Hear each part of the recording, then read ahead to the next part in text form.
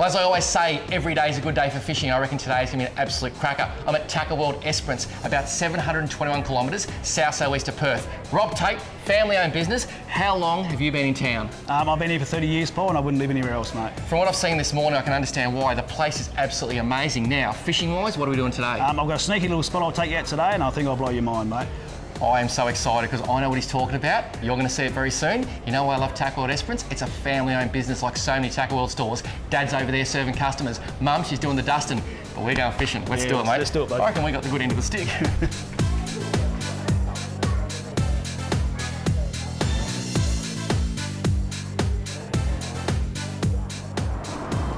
Whilst I love my fishing, I'm also a pretty big fan of good tucker. And of course, I got the healthy stuff tuna and salad, chicken and salad, just salad.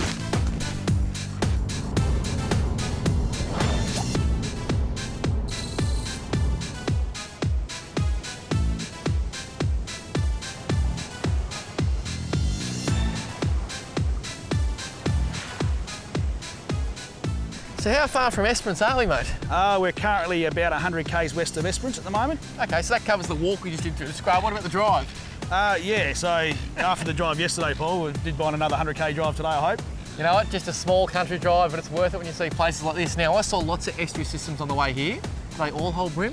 They all do down this way, mate, but we picked this particular spot because of the rock and the structure behind us today, so Structure, let me just say, it rocks. There'll be fish here for sure. Let's go, mate. Let's get I 'em. cannot wait to wet a line.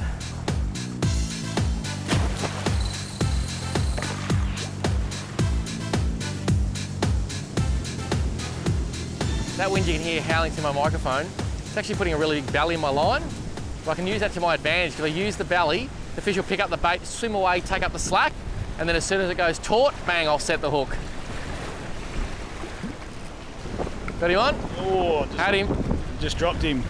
Oh yeah, he's Oh, on there. he's back. well done, mate. I think I'm coming over you, Paul, at the moment. You're right. I'll, uh, I'll come under you. Go over. Much Gotta work together like this, don't we? Yeah, look at that. He's coming in. He's Now, is that normally a sign of a good fish? Yeah, it is, mate, yeah. And it's actually, Oh, look looks at like it's got a bit of weight to him, this one, mate. Don't want to put too much go on him. No, just slide him up at the ways if you need to. Uh, what we've got here is one of the fattest bream I think I've ever seen, mate. Look at that thing. How fat is that? Bit of a horse, isn't it, mate? Look at the guts on that bream. I'm tipping that there is plenty of tucker in here, mate. Yeah, mate. Yeah, no, this is this is um, why we brought you down here, mate. Um, yeah, the everything down here is about like that.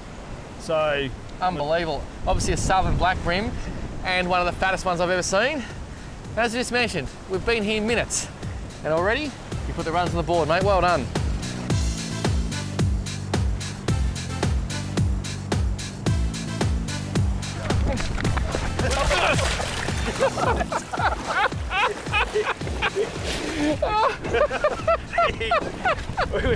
And we were just a bit busy. you got one on, Oh, Paul. I think so. And I no longer have a left shoulder. Oh, Can I just say, does your husband fish? yes, he does. And can I just say, thongs on a slippery rock, not a good idea. And you know, the only reason I went for the big dive, I thought I was about to say goodbye to this beautiful outfit. Looked like it was gone, didn't it? It did. And the sad thing is, it ain't even a monster. oh, the things we do. So I come all the way to Esperance just for me to sit on my backside. Look at that. I'll grab that for me, mate. This is the fish. When I go to the physio and say the burst has gone on my left shoulder, this is the fish that did it. Unbelievable. And you know what? He's actually taken two baits. What a pig. Look at this. Two hooks in the mouth of one fish. They're fat, but they're still hungry. Now, Rob, think there's any chance we could just delete this footage and never speak of it again? Well, it's a little bit embarrassing, wasn't it? But hey, A little bit. Ah, the things we do.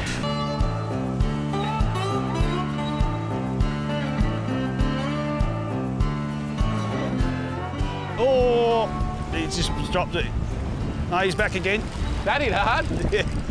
Yeah, back in there. come back and had a second crack. He did, hey, he did. He, he, he dropped it.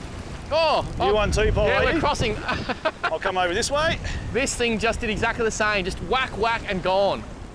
Well, this has got a lot of weight. They're very hungry, aren't they? They are ridiculously hungry. Now, this is about as good a bream fishing I've seen for a long, long time. Is it always like this? Yeah, mate, it's always like this. we come here all year round, mate. Yep. And And you always catch them. we always catch them, mate. That's unbelievable. And they're solid fish too. Like, are they always this big? Yeah, mate. Yeah, they certainly are. What's the biggest bream you've seen here?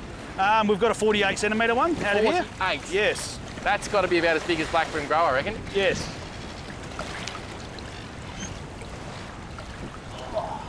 Mate, look at them two fish. Out of exactly the same mould. I gotta say, Tatey, I was excited to come here. I've heard about Esperance for a long time, but I didn't think the bream fishing could physically be this good. Yeah, I did promise you I'd blow your mind earlier on, mate. So there it is. Well, it's happening. The wind's blowing too, you know what? I don't care, because we're catching plenty of fish.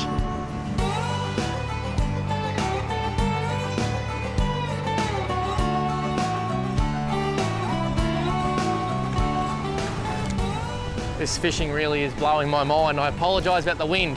Nothing we can do about it. This rock is fixed, the wind's blowing our face, but I reckon that's why there's fish here.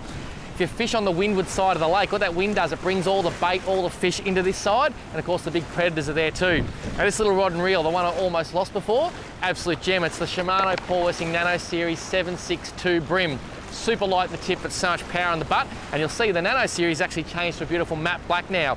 The real Shimano Stratic CI4 Plus, it's a 3000 model. I used to wonder why they made 3000s, but now that I use them more, I know why, because they're just a beautiful size reel and they'll do just about anything. Of course, my favourite braid there, you can see that yellow, four pound fins braid, and it's stopping these monster bream today. Oh! that almost, almost just took that right out of my hands. Oh, I cannot even begin to imagine how many bream must be in this lake. And this fish has swum straight to the shore, but they are just eating this prawn and just snaffling it down. I'm actually fishing circle today, I'm pretty happy so far. Every fish I've hooked has been a corner of the jaw hookup.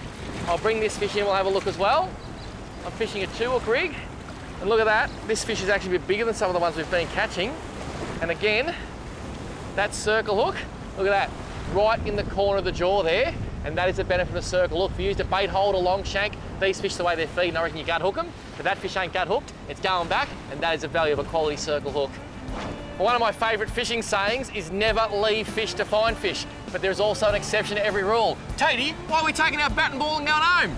Well, we- we're being smashed here, Paul, at the moment, but the fish aren't as big as I want them to be, and I've got another little spot up the uh, up the road there we can have a look at. So Long walk? no, not a long walk, mate. We'll just be over just over there. Let's do it. Can't believe I'm leaving one of the hottest bream bites I've ever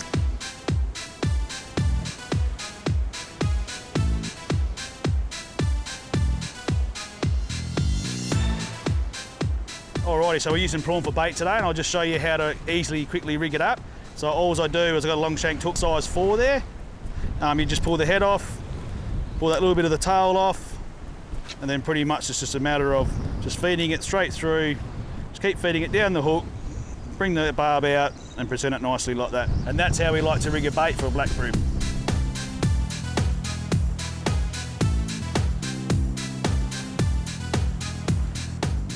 Oh, yep, we're getting some nice bites now. Gotcha. One as well, mate. That is, a, oh, look at the size of that thing. That's just- a better fish. I'll fish. just drag this up on the rocks. Oh my goodness me, that is a big, Change big bream. location, Paul. Unbelievable. As I said, mate, I normally don't leave fish to find fish, but that is worth leaving fish for. I've got a small one here, I'll leave him in the water. That is an absolute stonker of a black bream. You know what? I reckon there's gonna be fish in here way bigger than this. I think so, mate. That is unbelievable. This is the best fish of the day so far, and when they get about this big, they're about 20 years old, I reckon, so we'll have to release them, I reckon. There he goes.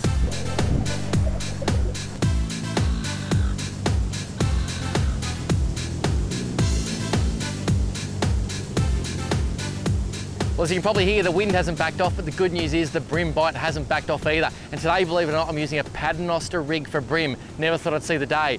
Quite simple though. That is my shock tip at 12 pound instinct fluorocarbon. A swivel, that attaches my rig. And it basically has two little droppers about 15 centimeters, looped on the end of the dropper, a size four circle hook. And at the bottom, a spoon sinker. First time I've used a spoon sinker in about 100 years. But the beauty of a spoon sinker, you cast in, it goes to the bottom. When you go to wind in, it actually swims up off the bottom and avoids all the weed and snags. They do have their place, particularly if you're rock fishing. The old paternoster is doing the job, and the great thing too, every single fish hooked in the corner of the lip, so we don't have to worry about gut hooking fish. Great for the fish's future, and also very good for me, because I don't have to tie more rigs.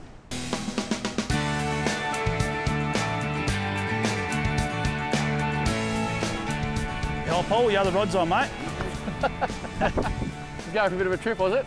Yeah, it's got a little, something having a little bit of a look at it. Yep. Oh, Having a bit of a look. that has some serious weight. I cast a bit further that time. I actually cast all the way back to those snags, and I even tried a bit of oh, a bit of pilly for bait. Be interesting. The pilly was on the bottom hook. Be to see interesting. what it goes yeah, for. whether he took prawn on the top hook or pilly on the bottom hook.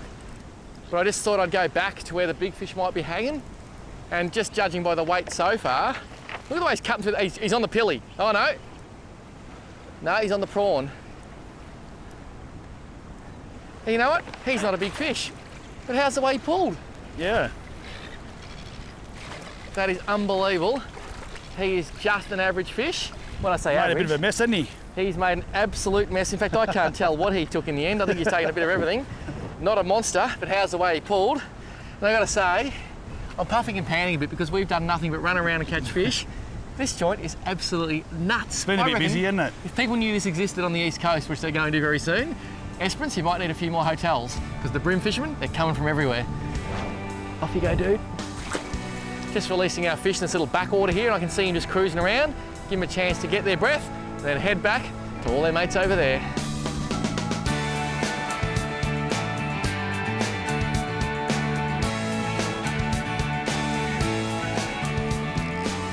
How's the hit? yeah. It was just a big woof, wasn't it, out there? He just, he just bang on, was he? Was it, was it no biting at all? That's It's actually awesome. got a fair bit of weight on here, so it's either two, I think it's, it's either two or it's one good size one, Paul. Well, you never know. There's that many never fish out there. I'm actually shocked we haven't hooked two yet. So we'll see what Oh, we've you got two. You got Oh, two. we got, we got two on, that's why it feels. That is wrong. We'll see how big they are. They're good If they're- size. Are they a pigeon pair or they're... No, no, one small one, one big one. But the big go. one is a very big one. There and the go. small one ain't really a small one So that either. would have been the whoosh. That is potentially one of the craziest things I've seen for a long time. Two bream on a paternoster. Mate, that fish there on my left, on your right, that is as good a bream as you'd ever hope to catch. And old small mate here, well, that one would keep a kid pretty happy too. Esperance, you're blowing my mind.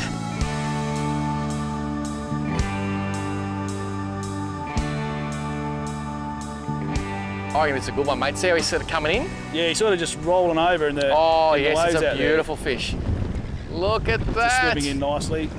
He's actually swimming towards us a bit. That's Which is good. Probably the waves and the 40 knots of wind pushing him in. Oh, that's a Yeah, horse, a mate. beauty, isn't it, mate? Just Look slide him pop up, slide him in this little hole here, maybe. That's a That- really don't nice wanna lose that when we get to this stage, do you? Oh no, look at that. Holy snapping black bream. That is wrong on every level, mate. That is almost a snapper that I'd be happy to catch if it was red. It would be, wouldn't it? Now you're telling me this fish is around 40 centimetres from tip of the nose to tip of the tail. You're telling me on any given day you've caught fish here to 48. Yeah, mate, we're getting bigger than that here. This has got to be one of the best southern black bream fisheries in Australia. Oh, And on your rods, and and there goes a, and you just about lost another Uh, another oh, grab- reel. Would you, would you like me to grab that? grab the monster. We're very professional here. Oh, We, you can't you, there's a weight on that. Sorry, mate. you can't make up if you try, could you? That is one of the best bream I've seen for a long time. I only went swimming again there. Oh, my friends at Shimano, could you please send me another Stratic? I think this one's got a few scratches on it. But you know what? I don't care because this is amazing.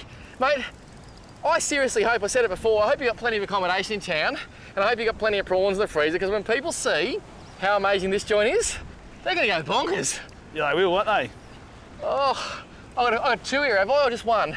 What have we got? Oh, you got two. two here. No wonder they were pulling so hard. There you Two bream. You've got three bream on the uppers once. Three bream on three hooks.